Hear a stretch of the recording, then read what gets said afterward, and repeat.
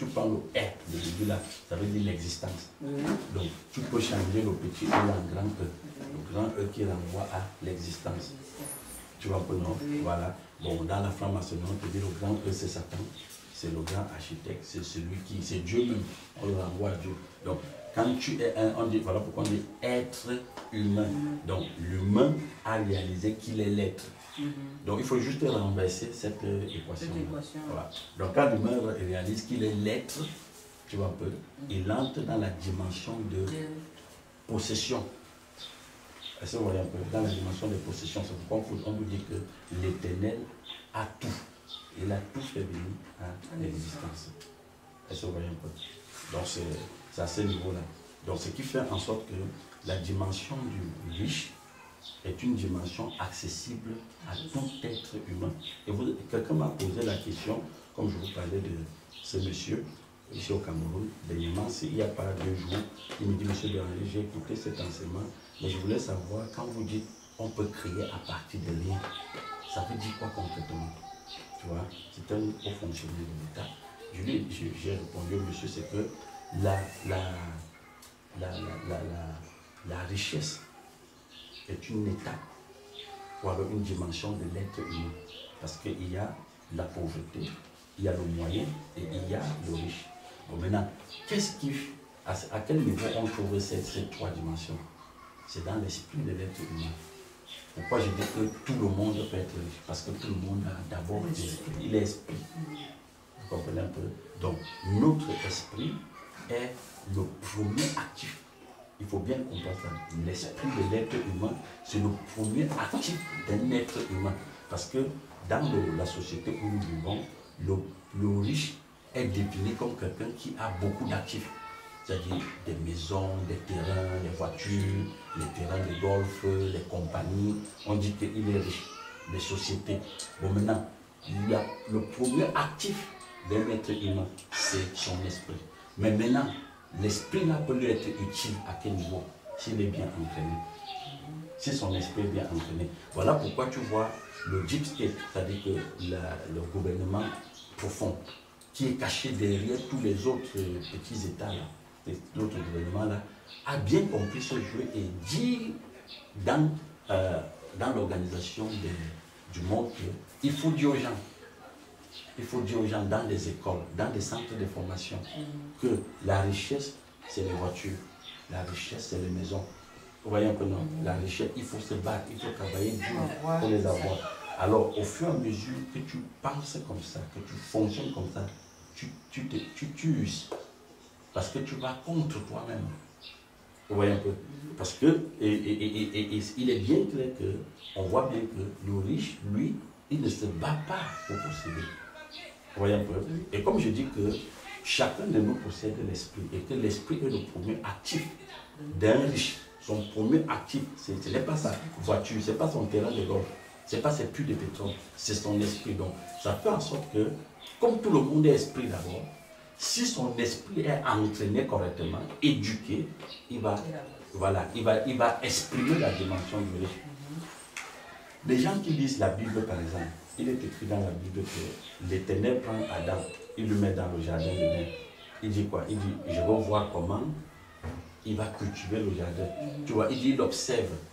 Tu vois, il dit, je vais voir comment. Donc tu vois qu'il est dans une, une éducation perpétuelle avec le Créateur. Voilà. Maintenant, pourquoi l'esprit? Parce que c'est l'esprit qui crée. Vous voyez un peu? C'est l'esprit qui crée. Ce n'est pas l'argent qui crée le- la richesse. C'est l'esprit qui crée la richesse. Oui. Je vois bien qu'on comprend Oui. ça. Ce n'est pas l'argent qui crée. D'où tu as dit à ce monsieur que Oui.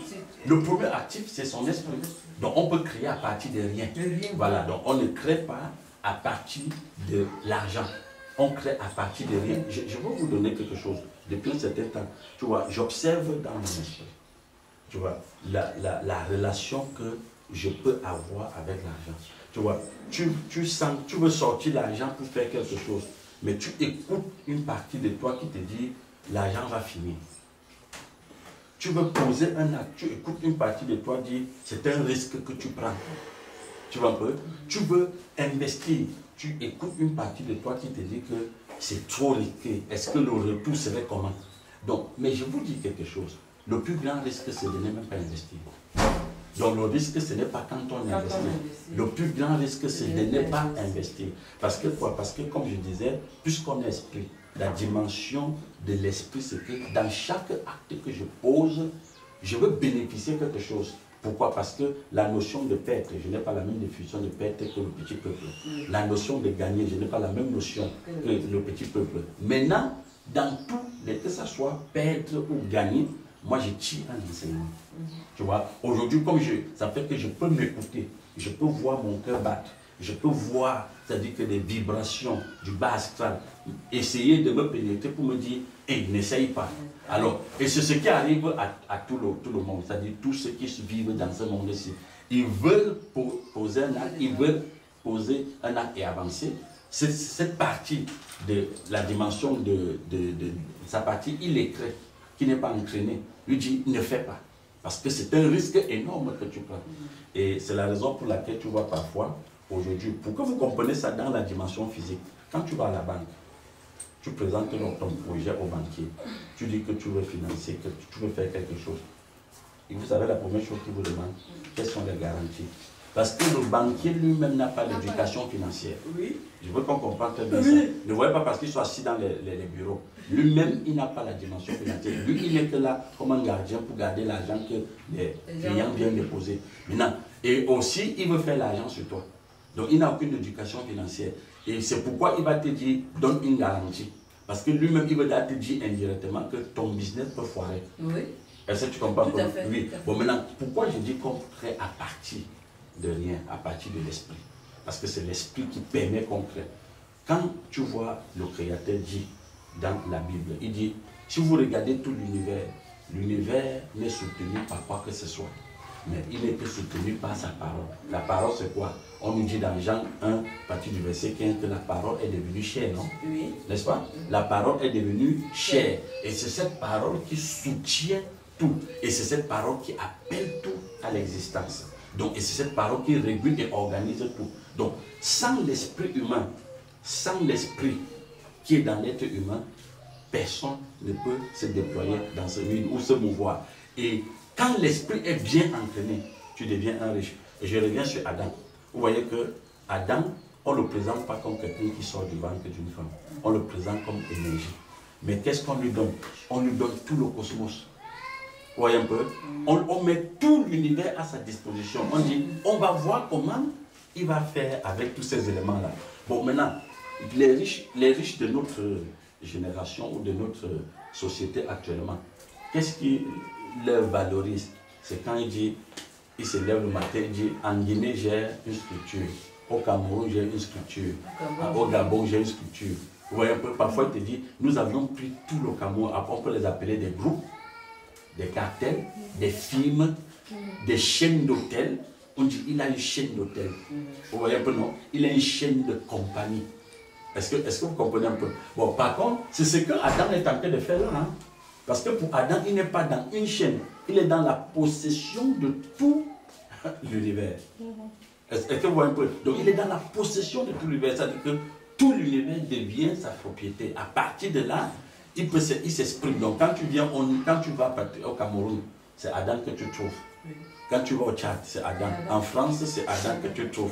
Vous voyez un peu, non? C'est cette dimension que tu as vu certaines sociétés dans le monde faire. Nous étions en Côte d'Ivoire, tu as vu des structures qui sont installées en Côte d'Ivoire, qui sont déjà au Cameroun. Tu vois un peu, non? On te dit, c'est une chaîne de structures. C'est dans cette dimension-là. Bon, maintenant, on sent bien qu'ils sont limités. Pourquoi? Parce qu'ils ne peuvent que faire dans un couloir.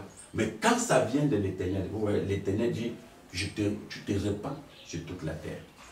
Est-ce que tu vois? Et c'est pourquoi j'aime souvent la conversation qu'il a eue avec mon ami Abraham. Il lui dit, tu es mon ami. hein. Tu es- mon ami. À partir d'aujourd'hui, tous ceux qui vont aller contre toi sont contre moi. Tu vois Et tous ceux qui te bénissent, ils sont bénis.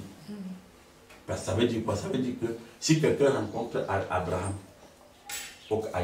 il lui dit, béni soit Abraham, l'éternel lui bénit. Est-ce que tu comprends peu L'éternel le bénit. Donc, c'est cette dimension-là. Donc, à partir de l'esprit que chacun a de nous, tu peux créer. Mais il faut seulement que l'esprit que tu es, qui est là-dedans, soit bien entraîné. Oui. Euh, euh, quand j'entends un peu l'éducation financière Mhm. et que actuellement dans nos écoles, on n'apprend pas vraiment qu'est-ce que c'est que les, les finances. Mhm. Est-ce qu'en apprenant aux enfants à l'école qu'est-ce que c'est que les finances, ils vont, ils vont se transformer Je sais que, comme tu disais tout à l'heure, tout se, se gère avec la compréhension. Est-ce qu'il suffit de- d'enseigner l'éducation financière à l'école pour que l'enfant, dans l'avenir, il soit un meneur? Mais de toutes les façons, euh, l'esprit humain est un, euh, est un vase qui veut être entraîné. Tu vois Donc, quand j'ai enfant, ça dépend de à partir d'où vous prenez. Parce que n'oubliez pas que dans la programmation génétique, un enfant est programmé de 0 à 7 ans. Vous voyez un peu, non? Donc, quand on dépasse généralement cet âge-là, la programmation devient un peu, je peux dire, rude, difficile. Voilà. Et qu'est-ce qui s'est passé aujourd'hui? Observez dans le monde où nous vivons, la majorité, dans le monde où nous vivons aujourd'hui, la majorité des enfants, avant d'atteindre les 7 ans, sont passés d'abord par l'école formelle. Vous voyez un peu La majorité est passée par l'école formelle. Et en dehors de l'école formelle, ont été éduqués par leurs parents à la maison. Et les parents aussi, eux-mêmes, sont les produits de la société. Vous, voyez un peu, non? Bon, et comme je le disais avant que vous n'arriviez, c'est que quand on parle d'éducation financière, cela ne renvoie pas à l'argent. Tu vois un peu, non? Parce que l'éducation financière renvoie beaucoup plus à la compréhension de qui je suis. Voilà, la découverte de la richesse qui est mon esprit. C'est-à-dire qu'au fur et à mesure que je comprends que mon esprit qui est là, qui est entré là dans le monde, est une partie du Créateur, c'est-à-dire qu'à partir de là, je peux créer. Voilà pourquoi on dit que c'est l'esprit qui crée. Vous voyez un peu, non Maintenant, toi qui es, toi qui as commencé à comprendre ces choses-là, tu peux donner des pistes. Tu peux donner des pistes aux gens qui sont autour de toi. Vous voyez un peu, non Mais leur construction viendra beaucoup plus dans leur expérience. Vous voyez un peu, non? C'est pourquoi je suis d'accord avec toi que je peux rabâcher à un enfant ce que je comprends. Tu vois, que ce soit dans un centre de formation ou dans une école, mais cet enfant-là ne prend rien de ce que je suis en train de dire. Pourquoi? Tout simplement parce que il écoute, mais il n'a pas un vécu. Vous voyez un peu, non? Parce que c'est dans le vécu que chacun découvre cette dimension, ces trois dimensions de lui. C'est-à-dire le pauvre, le riche et le moyen. Vous, allez, vous voyez tout à l'heure, je vous disais, pas plus tard que hier, j'écoute en moi que si tu poses tel axe risqué, et je réponds à la voix que, mais le plus grand risque, c'est de ne pas poser l'acte. Vous voyez un peu? Pourquoi les gens aiment garder Pourquoi il y a les comptes d'épargne? Comme tu parles de l'argent. Parce que le banquier, qui n'a aucune éducation financière, dit à ses clients que pour que tu sois riche, épargne l'argent et que la banque va te, va te reverser quelques parties à la fin d'année. On, on te parle de parts. Tu achètes les actions des parts. On te dit 200 parts, 300 parts, 400 parts. Tu vois un peu, non? Et au début, on dit, vous tous, vous êtes actionnaire. Dès que tu ouvres la- un compte dans une banque, tu es déjà actionnaire de la banque. Maintenant, après, pour grimper, il faut acheter des parts. Tu comprends un peu, non? Et ces parts, tu peux arriver jusqu'à être administrateur. Mais ce n'est pas ça, la richesse. Tu comprends un peu, non? Parce qu'au fond, tu travailles dur. Tu, tu, tu travailles dur pour ça. Et ce n'est pas parce que tu as acheté des parts que tu, as le, tu es devenu riche ou bien que tu as des actifs fiables. Le premier grand actif d'un être humain, c'est son esprit. Parce que si ton esprit est bien éduqué, est bien entraîné, ou enfin il retourne à la source, tu es déjà riche. Tu vois, et tu peux organiser toi-même ton quotidien. Ceux qui atteignent ce niveau-là, ceux qui atteignent le niveau où ils découvrent qu'ils sont des riches, ils n'ont pas besoin d'un conseiller financier. hein. Ils n'en ont pas besoin. Parce que eux, c'est eux-mêmes, même s'ils prennent des conseils financiers pour leurs actifs, puisqu'ils ont beaucoup d'actifs, c'est même eux qui donnent encore les directives aux conseillers financiers. Tu comprends pas, non? Parce que le conseiller financier, ce qu'il vient te dire, c'est ce qu'on lui dit à l'école. Et, et- et je veux bien qu'on comprenne ce niveau, parce que le conseiller financier, le mauvais même conseiller financier, c'est celui qui te dit les choses qu'on lui dit à l'école et qui n'a pas vécu. Parce qu'il va venir te dire, on nous a dit à l'école que, parce qu'il y a les écoles de commerce, il y a les écoles de, de- de finances, on te dit qu'un bon, un bon investissement, c'est ceci. Vous voyez un peu? Pour faire, il faut ceci. Mais ça, ce sont des formules, tu comprends un peu, qui n'a rien à y voir avec le vécu. Bon, ceux dont l'esprit s'est développé, ils vivent dans le vécu et ils apprennent que dans le vécu, ils comprennent bien les termes riches, pauvres, moyens. C'est pourquoi je dis bien encore que tu vois, Adam, on ne veut pas que Adam soit quelqu'un qui va juste venir dire les choses. On veut qu'il apprenne. Voilà pourquoi on dit, je veux, je mets Adam dans le jardin pour l'éduquer. Hein? Pour l'éduquer. Et Adam va commencer l'enseignement comment? Par l'expérience personnelle. Tu comprends un peu? On lui dit, par exemple, première chose, c'est que tu vois tout ce qui est là. Tu peux le régir, mais ne touche pas ceci. Donc, on veut qu'il vive. On veut qu'il s'exprime. Vous comprenez un peu? On veut qu'il ait un témoignage personnel. On veut qu'il ait un enseignement tiré à partir de lui. Et quand Adam va aller à la dimension où il va toucher ce qu'on a dit que c'est des limites, tu vois un peu, non? Mais il découvre quelque chose. C'est ce que dit la Bible, non? Il découvre quelque chose. Alors, il a une conversation maintenant avec une autre partie de lui, c'est-à-dire avec la partie pauvre. La partie pauvre de Adam lui dit, mais tu sais, le créateur méchant. C'est-à-dire que cet esprit créatrice, l'esprit créatrice est méchant. Il dit parce que, en fait, il n'a jamais voulu que tu te débrouilles de toi-même. Le riche ne se débrouille pas. Les riches ne sont pas là pour se débrouiller, ils ne sont pas là pour travailler pour l'argent. C'est l'argent qui travaille pour eux. Mm. Tu comprends un peu? Pourquoi? Parce qu'ils ont une, ils ont une, euh, une, une, relation personnelle avec le Créateur. Mm. Tu comprends un peu? Et quand Adam écoute sa partie pauvre lui parler, qu'est-ce que Adam devient? On dit, il découvre qu'il est nu. Mais pourtant, il, voulait devenir très riche à partir de, de, l'extérieur, c'est-à-dire du faux, du faux de lui. Tu comprends On dit qu'il découvre qu'il est nu. Et qu'est-ce qu'il va faire? Il va se débrouiller pour faire la vie. Il va se débrouiller. C'est où la pauvreté de l'être humain a commencé à se faire voir. Les êtres humains se lèvent chaque matin, se battent pour devenir quelque chose. Mais au départ, on ne demandait pas à Adam de se battre pour posséder le jardin. On a dit seulement, voilà, ça c'est à toi. Prends. On ne lui a pas dit que bats-toi pour prendre le jardin tout ce qu'on lui demandait seulement, c'est qu'il élève son esprit. Il laisse son esprit connecté à la source. Est-ce que tu comprends peu? On dit qu'il va aller couper les feuilles d'arbres pour tisser, pour se mettre, pour faire un petit torcher, pour se, pour se couvrir. Tu comprends peu? Et deuxième chose, on dit qu'est-ce qui va, va se passer dans Adam? On dit il va prendre peur. Il va devenir peureux, craintif. Pourtant, il n'avait pas peur au départ. Peur de quoi? Je vous ai dit l'autre jour, même quand nous étions à Yaoundé, que ce n'est pas parce que j'ai beaucoup d'argent que je suis riche. Parce que ce qui caractérise le pauvre, c'est la peur et l'avidité. Parce que le problème de l'avidité, c'est quoi? Je veux davantage avoir. Mhm. Et en même temps, j'ai peur de ne pas perdre ce que j'ai déjà. Voilà pourquoi les gens, quand ils amassent de l'argent, prenez même l'exemple sur des ministres camerounais. On dit qu'il a détourné 16 milliards, 14 milliards. Mhm. Mais au Cameroun, on n'a aucune société d'un ministre.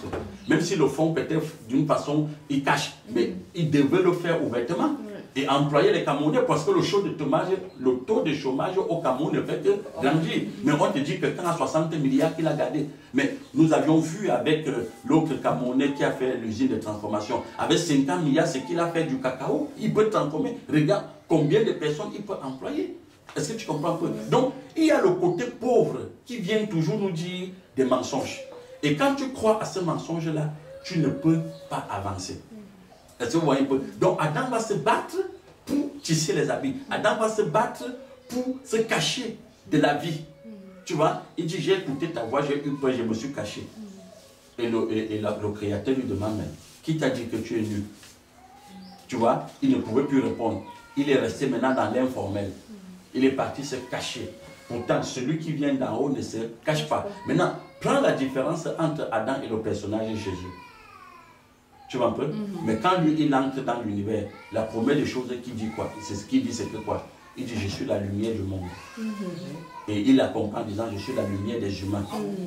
Il dit, si tu crois en moi, même quand tu serais mort, tu vas vivre.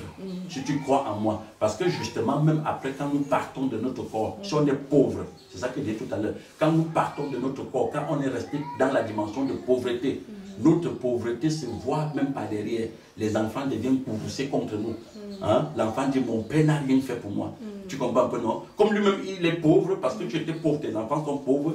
Ils ne savent pas qu'eux-mêmes, ils ont un esprit, ils doivent se développer. Ils mettent tout sur ton dos. C'est toi qu'ils accusent. Mm. Mon père n'a rien laissé pour nous. C'est un chien, c'est un feignant. Et quand le pauvre part de son corps, même son deuil ne met pas long. Je dis même son deuil ne met pas long. C'est pourquoi vous allez voir pour remédier à ça, les pauvres ont organisé les tontines. Ils ont organisé des petites organisations entre eux pour que, pour que quand ils meurent, il y ait un semblant de mouvement. Mais observez vraiment ceux qui sont riches. Ils n'ont pas besoin de collaboration des autres hein, pour pouvoir qu'on fasse le deuil. hein. Parce que même si vous ne leur pleurez pas, quand ils meurent, ce qu'ils ont créé, ce qu'ils ont développé, ils ont fait, euh, ils ont rendu visible à travers leur esprit, parle d'eux. Tu comprends un peu? Toi-même le pauvre, toi-même qui es pauvre, quand tu entends qu'un milliardaire est mort, tu vas aller, tu fais le- le- la mendicité là-bas. Tu comprends un peu? Toi-même tu t'habilles, tu dis je m'en vais au deuil de tel. Est-ce que tu comprends un peu? C'est à ce niveau-là. Donc ça c'est sur le plan physique. Sur le plan physique, la société nous enseigne tous les jours.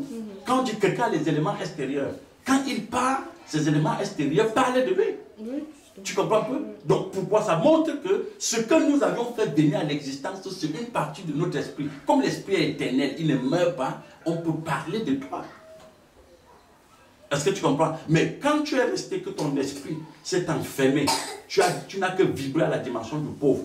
Même quand tu sors de ton corps, tu pars, ta mémoire est effacée. Et c'est comme ça que même de l'autre côté, tu deviens feignant. Tu es toujours, tu as tu es toujours pauvre. Est-ce que tu comprends? Hier, nous étions éveillés avec toi. Et quand tu me disais, sûrement l'esprit du monsieur là tourne là.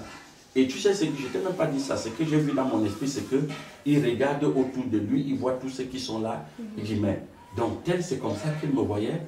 Après, il s'est dit, mais comme il a commencé à construire ses appartements qu'il n'a pas fini, il dit, mais je n'ai pas pu finir les appartements. C'est ça qui lui préoccupe. Il est parti avec l'image de ses appartements qu'il n'a pas fini. Tu comprends? Bon, maintenant, celui qui parle de son corps, et ce n'est que la maladie. Il a vécu 100, 40, 60 ans sur la terre. Il n'a que pleuré les maux de tête, il a pleuré les maux de ventre, il a pleuré l'aveuglement, il a pleuré tous les jours qu'il n'a pas mangé. Vous pensez qu'il sort de là, il fait quoi? Mais c'est ça qui le suit. C'est pourquoi, chez les Bamileke, quand on fait les coutumes, on dit si quelqu'un meurt par accident, on dit son coutume est violent. Tu vois, il faut tout faire pour chercher sa tête. Parce qu'on dit il est, il est mort d'une mort violente. Parce que comme il est parti là, il est parti dans la douleur. Donc si son coutume t'attrape, tu as douleur. Je vous dis la vérité, ceux qui ont fait les coutumes, oui, savent ça? Quand quelqu'un mourait par accident ou par guerre, dans la guerre, on faisait tout pour chercher, je cache pas tout, je- on fait tout pour chercher son frère, pour trouver un successeur rapidement pour lui. On dit, Ah, ce monsieur mort par accident. Et on te dit, le coutume de l'accident est très dangereux. Vous voyez C'est tout simplement pour dire que ce qu'il était, ce- ces dernières images l'ont accompagné. Et on a vu que Adam, pour revenir sur Adam, il a eu la chance. Que on te dit dans, je pense dans Matthieu chapitre 1, on dit Adam va devenir fils de Dieu à la fin. Il s'est reconverti très vite. Tu comprends un peu? Il est rentré dans la dimension qui était prévue pour lui. Parce que quand il a écouté son côté pauvre, sa dimension pauvre, il est resté un gars frileux. Et observez bien, comme je vous dis que ce que vous êtes, votre premier actif, c'est votre esprit. Regardez comment votre, votre esprit crée. On te dit, il crée même jusqu'aux enfants que vous donnez vont avoir cette répercussion. C'est pourquoi je parlais de la programmation génétique. Vous voyez, quand Adam fait des enfants, on te dit Cain et Abel. Et tu vois, un parmi eux, c'est son côté pauvre, qui est Cain, qui s'exprime. Et regardez comment il s'exprime violemment. Abel est son côté riche. Et observez l'attitude la, la, l'attitude d'Abel. Abel aime toujours donner. Il aime partager. Parce qu'il comprend bien que tout est à lui. Mais ce n'est pas par force qu'il a obtenu. C'est pas le Créateur. Et quand quelqu'un comprend que tout ce qu'il a vient du Créateur, il ne va pas demander qu'il casse son derrière. C'est pourquoi il y a les conditions. hein. Les conditions, c'est parce qu'ils pensent que c'est eux qui se sont battus pour avoir. Mais quand tu sais bien que ça vient du Créateur et ton esprit a été entraîné, tu ne peux pas demander à l'autre que pour qu'il travaille avec toi, tu casses son derrière. Ça n'a rien, ça ça- ça- ça n'a pas de sens. Ça- voilà. Donc les conditions que vous voyez dans le monde là est un signe que ces gens-là sont pauvres. C'est dans, cette- dans la dimension de la pauvreté qu'ils se déploient tous les jours. Malgré que vous les voyez avec des structures. Mais ils sont dans la pauvreté extrême. Donc ils s'imposent dans les conditions, parce qu'eux-mêmes ils sont conditionnés. Le riche est libre. C'est un esprit libre. Vous comprenez un peu? C'est pourquoi le Christ disait que quand tu es né de nouveau, tu es comme le vent. Vous voyez un peu, tu es libre. Tu comprends? Le Christ donne sans condition. Le Christ donne sans condition. Il dit le plus grand c'est celui qui sert. Mais dans notre société, on dit le plus grand c'est celui qu'on sert. Vous voyez, comment les mots changent, les thèmes changent. Vous comprenez un peu? Par contre, pour le Christ, comme il est riche, mais c'est lui qui sait les autres. Parce que c'est au riche de donner, c'est au riche de partager. Vous comprenez un peu? Mais dans la dimension du pauvre, on dit allez, allez prendre, prenez aux riches pour donner aux pauvres. Non. Vous ne pouvez pas prendre aux riches pour donner aux pauvres. C'est le riche qui donne. Il donne volontairement. On ne, on ne l'impose pas ça. On ne l'oblige pas. Vous, vous, comprenez un peu On ne l'oblige pas à donner. Alors, et le riche, quand il part de son corps, même ses enfants ont un souvenir de lui. Vous comprenez un peu? Si on revient même s'il n'a pas laissé les éléments matériels. Oui, parce que justement, je voulais me dire, si on revient sur notre ami, par exemple, comme les, Jacob, par exemple, que j'aime beaucoup bien, tu vois que le, souvenir de Jacob pour Joseph, c'est la richesse. Voilà pourquoi on dit, Joseph va s'arranger que le funérail de son père ne soit pas n'importe quel funérail. Pharaon va assister à ce, à funérail. Pharaon va assister au funérail. Tu comprends un peu? Rien ne l'obligeait à venir. Mais c'est parce que c'est une famille des riches. Vous comprenez? C'est une famille des riches. Quand on regarde euh, les jumeaux, même, euh, c'était les jumeaux, celui qui a trompé son frère. Oui, Jacob et. Tu vois, quand, son, père a béni, il n'a pas dit que je te laisse mon terrain qui est. Non, non, non. Il a dit tu vas tout prendre. Oui. Parce que et ça nous ramène dans les nombres. Mm. Les riches ne sont pas faits à partir des nombres. Ils sont faits à partir de l'existence, c'est-à-dire de la, de la vie. C'est la vie qui les rend visibles. Mm. Donc, tout ce qui existe est aux riches. Mm. Tu comprends un peu, non? Donc, c'est pourquoi quand on bénit Jacob, on ne lui dit pas que tu vas prendre ci, tu vas prendre ça et tu vas laisser. Parce que quand son frère rentre voir son père, il dit, donc tu n'as, béni-moi aussi mon père, dit, je n'ai plus rien. Je lui ai tout donné. Et je lui ai même dit que les enfants de tes enfants vont être soumis à lui. ça veut dire quoi? Ça veut dire que, parce que si on dit que le monde a vu le jour à partir de ces gens-là, ça veut dire que tous ceux qui seront pas dans la dimension de Jacob seront esclaves. Vous comprenez un peu? Donc, Esaïe que vous voyez là, c'est la dimension du pauvre. Tu vois Ou la dimension du moyen. Parce qu'on dit qu'il a aussi quelques éléments. Donc, il, peut avoir quelques éléments, il est dans le moyen, mais il n'a pas l'éducation financière.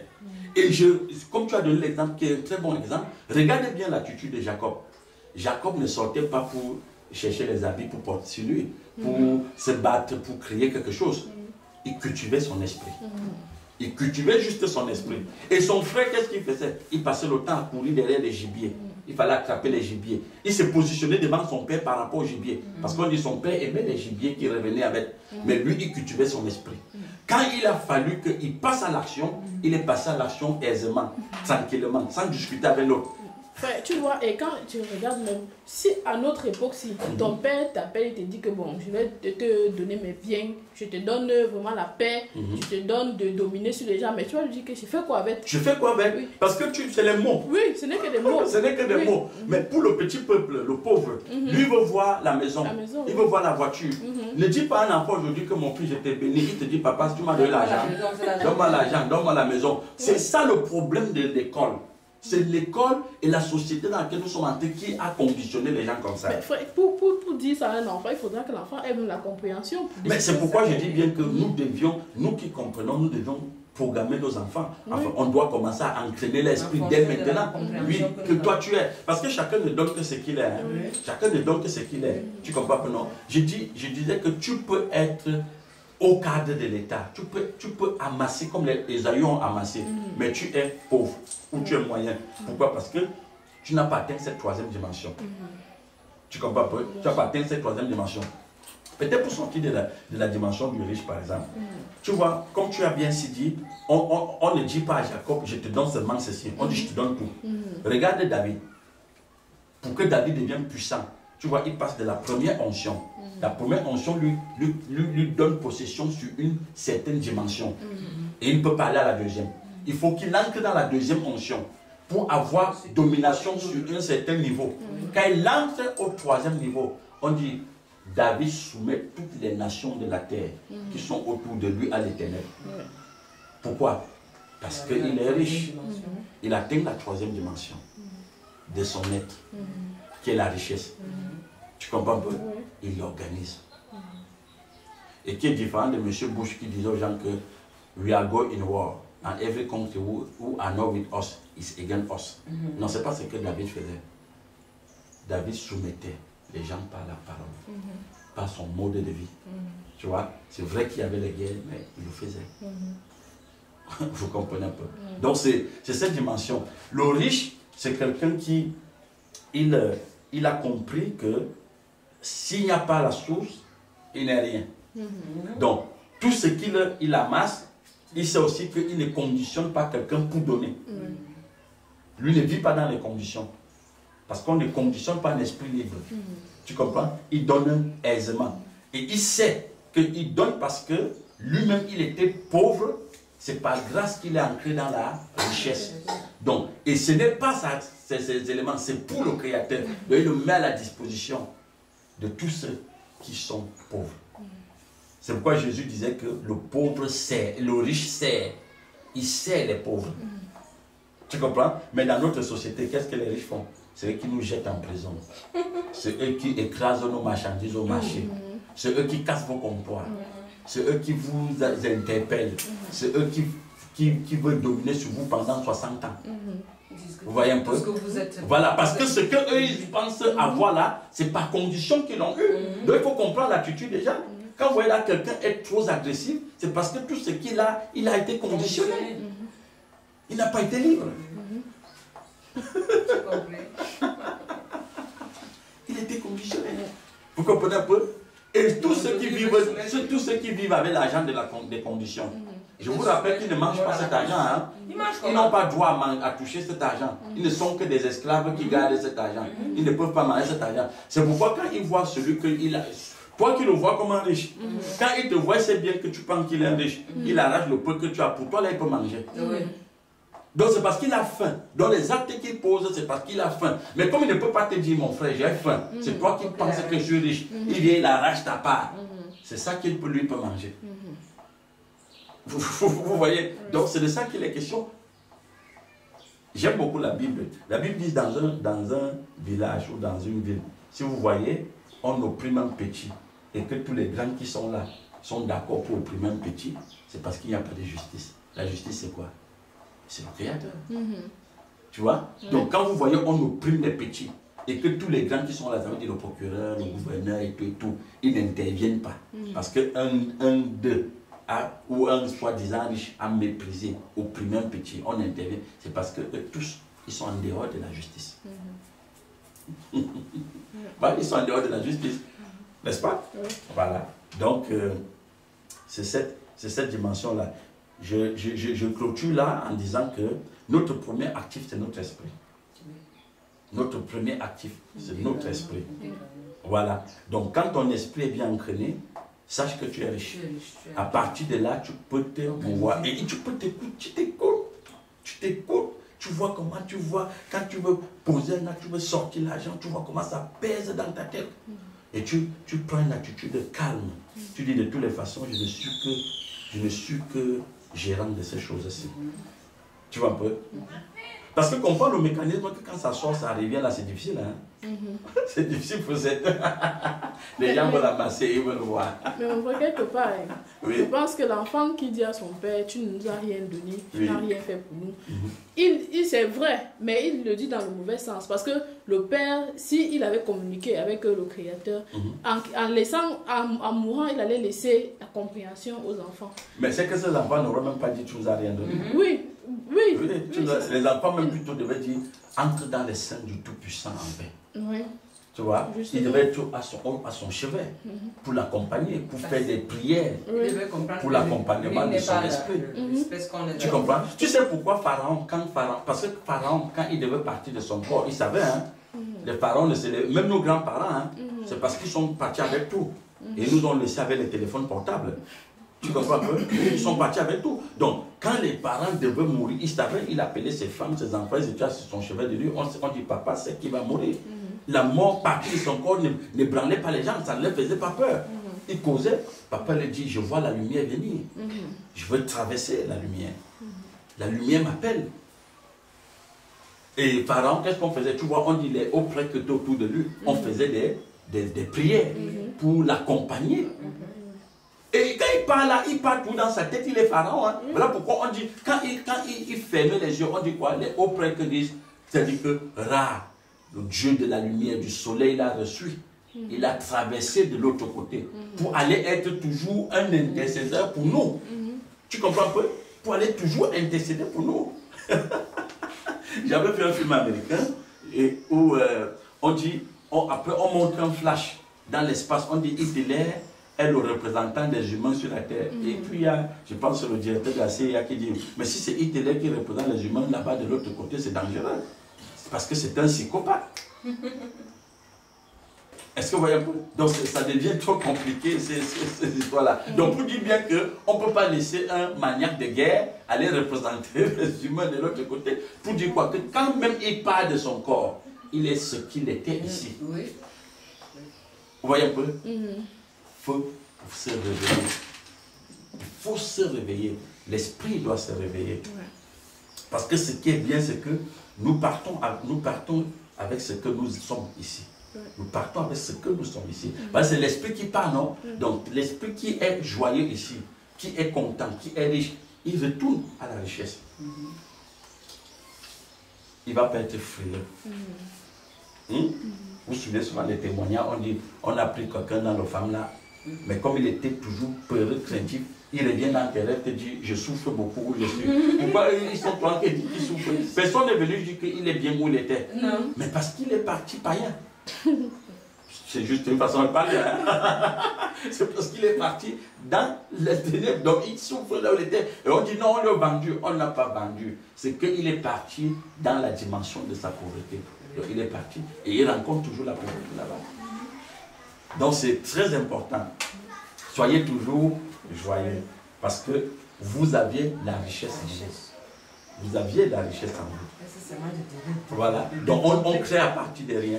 Et notre esprit est notre premier actif. C'est le- l'actif le plus puissant que chacun de nous possède, l'esprit de l'être humain. L'actif le plus puissant. Donc c'est c'est un peu ça. Voilà.